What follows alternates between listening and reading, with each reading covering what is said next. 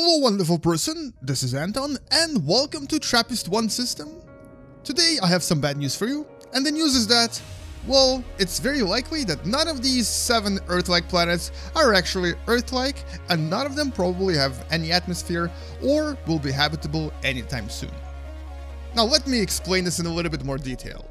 Welcome to What Da Math.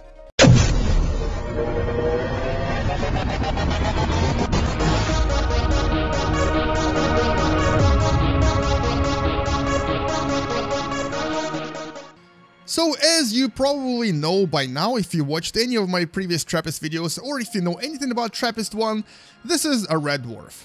A relatively small star, a star that will live trillions of years, much much longer than our sun, but also a star that's a lot more active as you can see from all of the flaring that's going on here.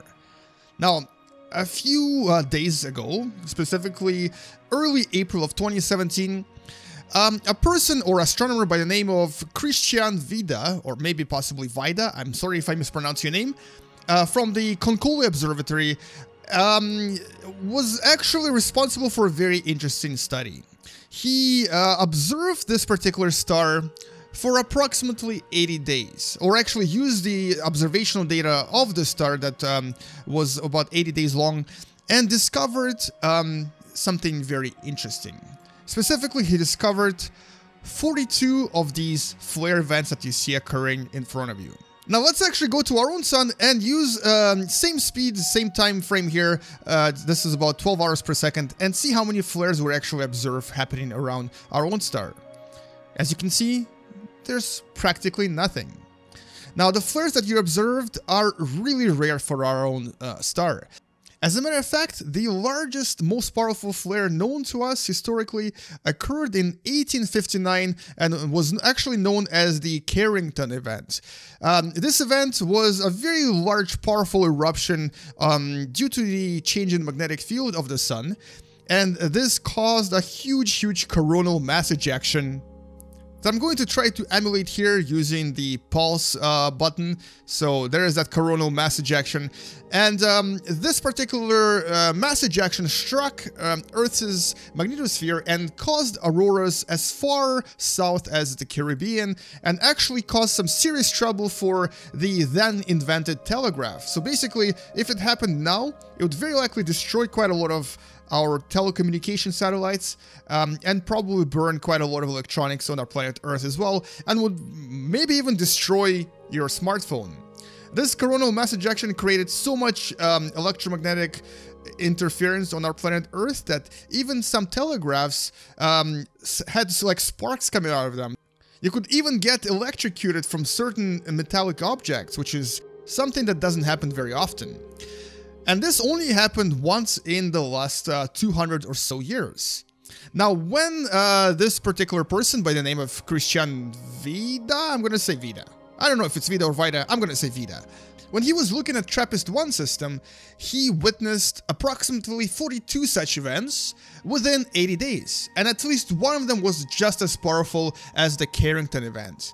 Now, that is really scary.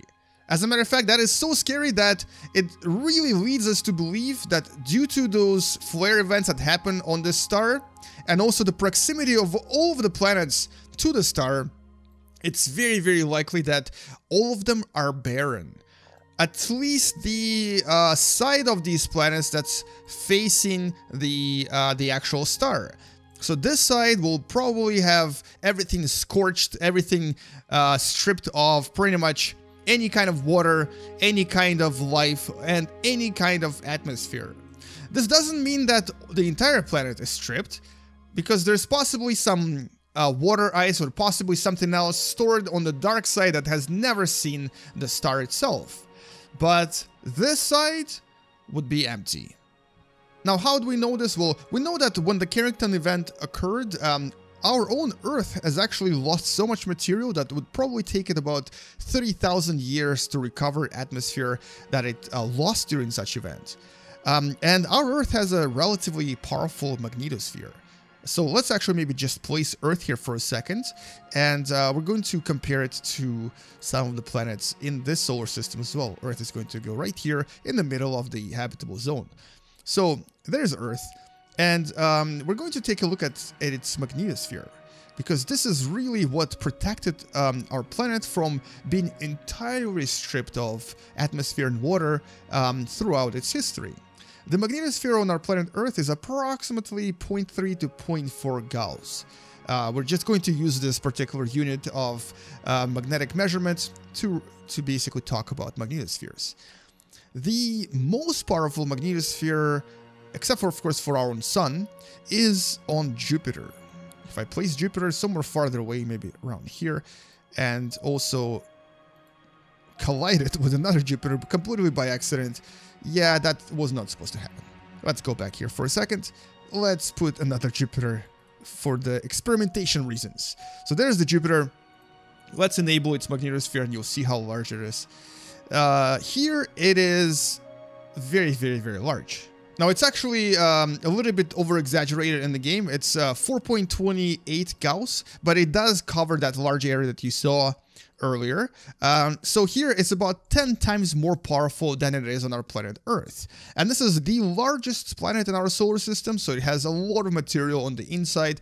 Also, it spins really fast, so it does create a lot of magnetosphere. What this means is that um, if we actually want to hope to have any kind of an atmosphere or you know water on this on the surface of any of these seven planets or at least on the side that's facing uh, the star each of them would have to have a magnetosphere that's about 100 times more powerful than that on earth. So possibly somewhere along the lines of like 40 gauss or so. So basically it would have to have this much now there is a very, very unlikely chance that any of them do have such a strong magnetosphere.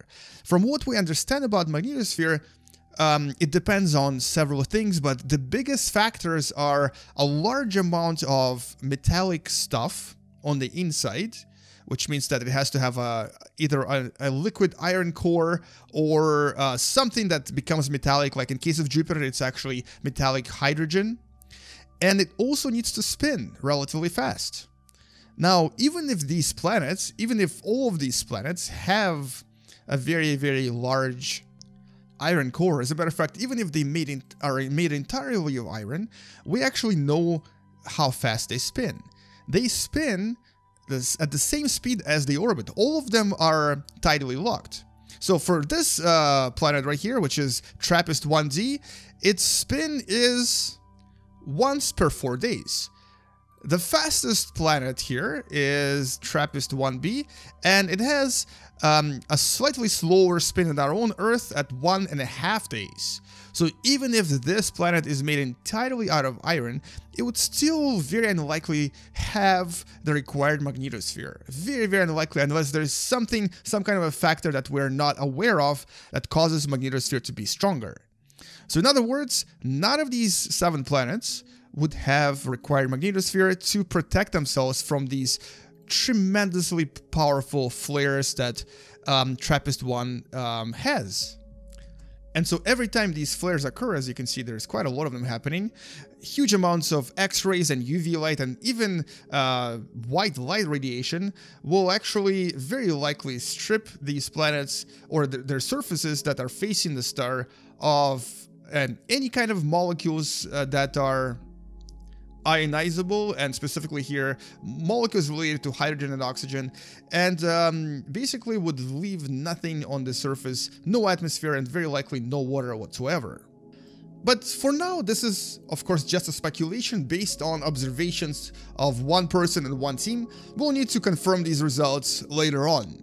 And we're actually are very likely going to be able to confirm these results after 2018 when James Webb Telescope launches and is able to actually uh, take a closer look at these atmospheres of these planets using infrared um, radiation. And hopefully within the next two, three years, so hopefully by 2019, we'll be certain of what's actually happening here. So if we're able to detect large atmospheres, then maybe there is some sort of factor protecting these planets from these tremendous flares that you see in the background. Actually, they kind of just stop for some reason. They do come and go as they please. But anyway, so here they are again, they just start over. So we know that at least 42 of them occurred in 80 days, so you can imagine there's quite a lot of them happening in the solar system. Um, but other than that, we are now kind of pessimistic about finding anything interesting here. There's probably very unlikely to be any habitable planets. There's probably very few objects here that we can actually colonize, but you never know. Maybe we'll still be able to discover at least one object in TRAPPIST-1 system that is habitable, although for now, the hope is dead. For now, we're kind of convinced that none of these seven Trappist planets, and we're actually going to remove Earth from here and we're going to remove Jupiter from here just so that they don't interfere with uh, this picture and uh, remove the magnetosphere from TRAPPIST 1G because none of them would probably have any or at least powerful magnetosphere. Um, so this is what the system looks like and it's very likely completely barren and has no liquid water and very likely no um, life. So even though this planet has water, chances for it to be so is very, very low right now. And anyway, I'm sorry for the bad news, but hopefully you learned something from this video, and if you did, don't forget to subscribe, and come back tomorrow to learn something else about space, sciences, or maybe just watch me play some kind of an awesome video game. I'll see you guys tomorrow, space out, subscribe if you still haven't, share this video with someone who enjoys learning through video games or wants to learn more about space, sciences, and so on. See you tomorrow, space out, and as always, bye bye. And I'm going to just go and explode this system. Because why not? Why not? We have this power. And it's so, so amazing. Let's actually explode some more objects here and see what actually happens to this solar system. And surprisingly, TRAPPIST-1 became... Is this a white dwarf? Yes, this is a white dwarf. Pretty awesome.